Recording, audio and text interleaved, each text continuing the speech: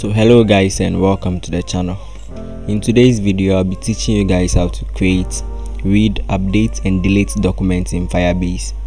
So we'll be starting from scratch and we'll be building this contact app alongside right? So let's get right into it and let's look at how the app works. So this app is um, a simple contact app and we have options to delete a contact edit and then add a contact. So basically the CRUD operations. So let's try to create a contact. And I'll tap on the add contact button. This takes me to a page where I can add my contacts. So a contacts basically consists of a name phone and then an email right? And we have some authentication um, in place. So you can't add an empty contact.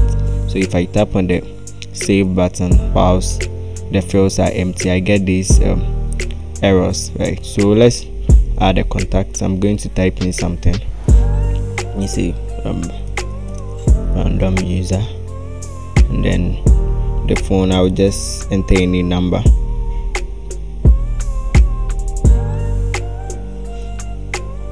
you should know that um, the focus of this video is not about strong validation. So I've not placed any check to make sure that there's a valid phone number but we are just um, creating something on Firestore get it? So that's why I'm able to enter any number regardless of um, its validity.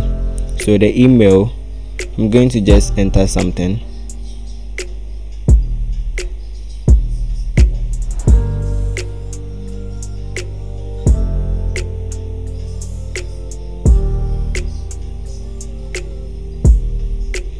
and when I tap on save realize um, the contacts we created should be here yeah. So random user german at gmail.com and we can edit this. So tap on the edit button. It takes us to an edit page.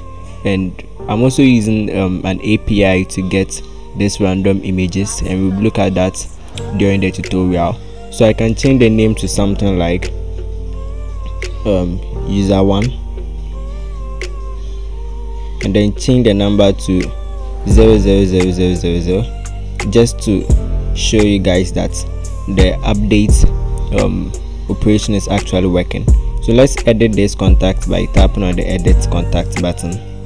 And realize we immediately change it to user 100 german. We didn't change the email right? We can also delete this user or just any user so i'm going to tap on the delete button. And i realize the user is gone. Contact deleted. Right. And all this data is coming straight from firebase. They are not just dummy data. So let's get right into it and look at how to build this from scratch.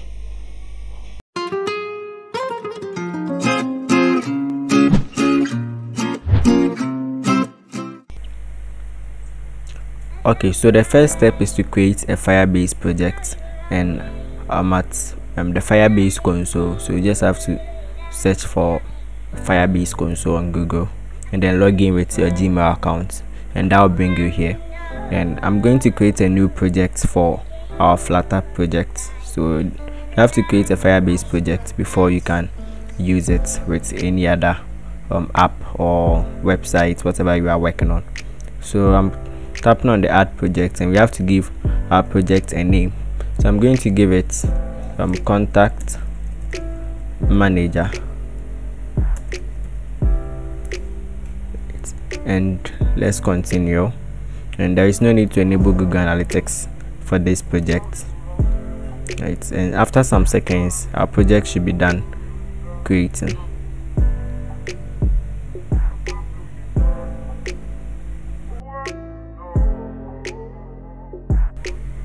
so our project is done creating and we can continue to the actual console of our project. So in the console um, the first thing you want to do is to enable the firebase services you want to use right? So firebase is not just about database. They have a lot of services. When you come to the build section they have authentication um, firestore database storage hosting functions and a lot. And what to be focused on in this video is the database aspect of firebase. That's the firestore so first go to your firestore database. And you would have to enable the database for this project. As in tell firebase you need um, their database service for this particular project. So just create um, a database. And you'll be asked whether you want to start in production or in test mode right um, since this is just to teach you the concept of um, CRUD operations in firestore you don't um, need to start in production mode right? If it's a project you maintain for a long time then you can start in production mode but i'm going to start in test mode. And if you start in production mode be sure to um change the rules for your project right?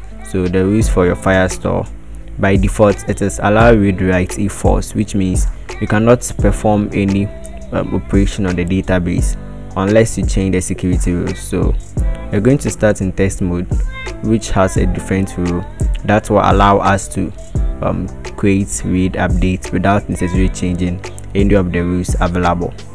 So i'm going to tap on the next and um, let's just go with the default